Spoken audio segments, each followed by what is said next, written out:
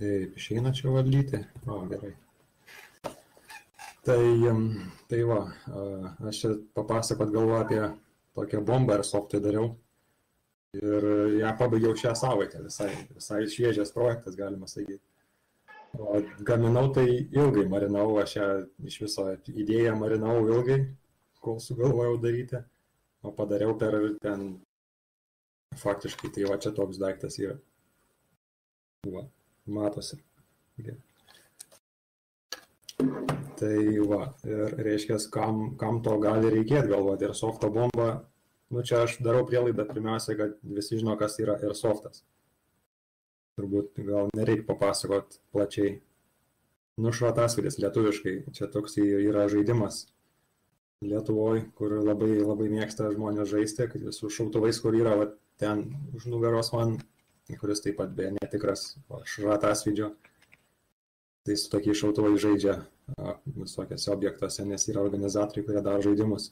Ir jie taip pat naudoja visokius tokius rekvizitus, kad žaidimas būtų įdomesnis. Tai Airsoftui mes čia turim su draugais keletą komandą sugalvoję ir mes būna suorganizuojam žaidimus tarpusavį pasišaudyti, reiškia. Ir būna, kad kai susirenkam pažaisti, tai visi žaidžiam ir nėra kas kontroliuoja žaidimą, nu, nes or, tojo kaip organizatoriaus jau atskira nėra. Tai būna problema, kad kas paleidžia ir sustabdo žaidimus, kaip ten, kaip, nu, ta prasme, mačą, tarkim, kas paleidžia ir kas sustabdo ir neturim jokio tokio normalaus rekvizito, kaip kad šitą bombą, kad pažaisti. Tai ne tokio aiškios yra aiški užduotis, dėl ko kovoti reikia sakykime. Tai tų visokių e, bombos variantų galima prigalvoti, ką jinai ten gali daryti, kokios užduotys būna žaidimui. Bet aš išgrininau tris tokius būtent. Tai išminavimas, dominavimas ir laikmatis, kad būtų. Tai reiškia, kad e, išminavimas tai yra kaip CSGO ar ten CS16, kad kažkuria komanda nešasi bombą į vietą padėti, o kita komanda bando sutrukdyti tai kitai komandai padėti bombą ir jeigu bomba padėta, reikia ją išminuoti kažkaip. Tai, tai teroristai ir counterteroristai tipo. Dominavimas yra tas, kad e, būna padėta bomba viduryje žemėlapio ir žaidžiama yra su šitais va dviem mygtukais. Ne? Ir e, įsijungia kaip laikmatis pasibaigia, pasileidžia sirena, reiškia, prasidėjo žaidimas ir abi komandos bėga link, tos, link to taško ir pirma komanda pribėgusi paspaudžia mygtuką, palaiko, kol ten penkios sekundės praeina ir pradeda skaičiuoti tai komandai taškus. Tada kita komanda bando atsikovoti tą tašką ir tada savo mygtuką komandos paspaudžia irgi penkias sekundės palaiko, tada sustabdo anai komandai laiką ir pradeda skaičiuoti tai komandai laiką. O laikmatis tai paprasčiausias e, toksai pagalbinis priemonė, jeigu sugalvojam žaisti kokį e, nu tarkim, vieną mirtis komandai, kad, e, nes būna įprastai ir softė, kad kai miršti, palauki kažkokias penkias minutės ir tada grįžti atgal į žaidimą. Tai jeigu deathmatchas yra, tai su viena gyvybė tik tai žaidė ir tas laikmatis va, mačą sustabdo arba ir paleidžia. Nu ir sabotažas tai toksai, kitas toks kaip variantas gaunasi tarp išminavimo ir dominavimo, tai aš jo konkrečiai atskirai nedėjau, tiesiog padariau papildomas galimybės išminavimui, kad būtų priegeimo timeris, kad reiškia bomba, tai žaidžiant išminavimą, bomba būna vidury ir kažkas pirmas atbėgęs užminuoja ir tada kita komanda atbėgus išminuoja. Tai sabotažas būtų, kad tas, kas išminuoja, ją vėl užminuoja, tada kita komanda vėl bando kovoti ir tai kai kiekvieną kartą užminavus per naują skaičiuojasi tas laikas, kada sprogs bomba.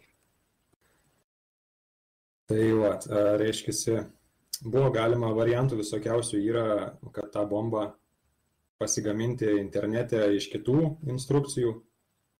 Visokių yra, kas prigalvoja labai fainų variantų, bet aš norėjau paprastos ir galima naudoti turbūt kitų rastus kodus software, bet aš kiek radau, tai visi buvo ten košmaras kažkoks visiškai. Ta prasme, ten net nesuprasi, kas rašyta buvo, visi, kas rašo, tai greičiausiai naudoja tą Basic Arduino IDE, kuri yra kaip naupedas, nieko ten daugiau nėra. Ir aš pagalvojau, kad šitai man nelimpa ir aš noriu pasigaminti savo viską. Tai aš dar susiprograminau visą, visą softą pats. Buvo ką veikti, iš tikrųjų, kai pradėjau, tai tenais jau galvojau, blemba. Žiauru. Gavosi apie 800 eilučių kodo. Nežinau, ar čia kažkoks rodiklis, bet šiaip įdomu. Ir susiprograminau viską nuo nulio pats. Nes tik tai taip galiu būti garantuotas, kad aš ten tą bombą žinau, kaip neveikia visus kodus ir kad netikrai nepaves. Nu, nesakau, kad mano ten šimtų procentų full proof, bet e, vis tiek lengviau taisyti ir, ir pridėti funkcijas, jeigu man to reikia. Tuo labiau, kad ant kito kodo tenais net nesuprasi, kur kokie inputai e, turi jungtis. Ir ten modifikuoti kažką tai irgi, tai turbūt lengviau yra vis tiek pasirašyti savo galiausiai, jeigu sukebi. Va, tai aš ten, ten turėjo būti nuotrauka, kad e, ant prototipavimo plokštės, kaip viskas sujungta laidžiukais. Nu, tai aš tada jau šitą kodą pasigaminęs, pasidariau schemą, susijungiau per EasyEdą ir nusibražiau PCB plokštę, tada ją ten išsiėsdinau space. Vat, šiaip naudojau printerį, kuris nelabai gerai spausdina, tai gavosi tokia kokia kaip korėta plokštė, nu, bet patikrinau paskui takeliai visi. Ten kontaktai visi yra, viskas ten su takeliais gerai, o tas common groundas tai man nelabai aktuolus. Kad ten jis toks korėtas atrodo. Tai va, šitas buvo visai gerai. Ir tokia motininė plokštė atrodo jo, kai viskas sulituota ant jos. Tai čia, ta, ši čia panaudojau, kad boost konverteris 5 voltai, ant jo statosi uh, lipo krovimo ten moduliukas. Du mygtukai susijungia, keypadas LCD liktais. Čia sirena pasijungia, ją valdau aš nuo S8050 tranzo, nuo pino įjungia ir tada taip tą įjungia. Vat, šitą, kai dizaino plokštę, viską sulitavau ir viskas atrodė labai fainai gavosi, čia labai gražiai atrodo, kaip aš čia džiaugiausi. Sulitavau, pajungiu ir žiūriu, o ne, 5 voltai visą laiką ant šitos, kai turėtų būti tik tai tada, kai reikia paleisti laikmačiui pasibaigus sireną.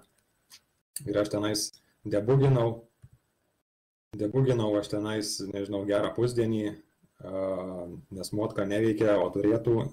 Ir tada galiausiai supratau, bežiūrėdamas visą valandą į savo PCB dizainą, kad čia tas groundas iš pirmos pažiūros jis atrodo vientisas, bet iš tikrųjų jisai gaunasi padalintas į atskiras dalis. Tarkim, ši čia atskira dalis, jinai atjungta nuo šito, šita dalis atjungta nuo šito ir vad gaunasi, kad nėra uždaros grandinės. Ir tas, kaip ir viskas atrodo veikia, viskas įsijungia, viskas veikia, bet atmega, kurią čia naudojau, atmega 328, jinai kažkaip durnavoja, nes jai nu, bendro groundo tarp visko nėra. Ir gavosi, kad visą laiką 5 voltai ant, ant šito, visą laiką įtampa ant sirenos pajungta. Tai sprendimas buvo va toks. Pataisimas čia matosi. Ir, reiškia, su Etherneto laidžiukai sujungti groundus tarpusavį, kad viskas būtų viena grandinė Ir taip pat ant tranzo pamiršau varžą įdėti, tai čia irgi pataisimas. Nu va, tada korpusas, skilių prigrėžiau, apipjaušiau ją. Ir baterijas padariau, vat, ten visokius išvadus sulietavau, konektorius. Šitas visa dalis truko ilgiausiai, nes čia kol laidžiukus pasiruoši, kol gražiai susilituoji viską, nes nesinori, kad būtų ten jovalas viduje. Aš mėgstu gražiai daryti. Tai tas visas užtrunka, kai gražiai nori daryti. Nors čia gal iš pirmos pažiūros vis tiek atrodo jovalas viduje, bet šiaip e, atidarius ten visai gražiai. Ne tai, kad ten iššauna atidarius viskas, bet jo, dėžutė šiek tiek galėjo būti didesnė, bet naudojau tokią, kokią turėjau iš seniau. Ten sunku, kai dabar užsidaro, reikia šiek tiek paspausti viską. Gerai, kad baterijos neina taip lengvai pradurti.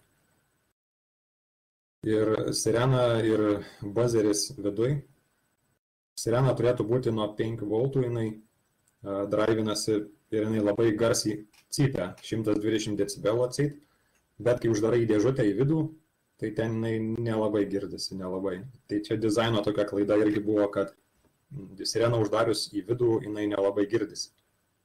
Jo, tai sugalvojo pataisimą, kad reikia išvesti, išvesti taip pat ten, kur sirena jungiasi į, į ADC konektorių į šoną kažkur, kad galėčiau kitą sireną pajungti išorėje, jeigu bombą nereikia nešiotis, ją padedi vietoj ir tada pajungi sireną ir būna garsiau. Tai dar sirena keliauja iš Kinijos ir paskui pajungsiu į šoną šią. Nu, šitą vidų liks taip, taip kaip yra, bet papildoma bus iš išorės dar jung, jungėsis. Nu, va, ir, ir va taip. Lipo baterijos gavosi apie virš 5000 mAh viso tos 3T celės.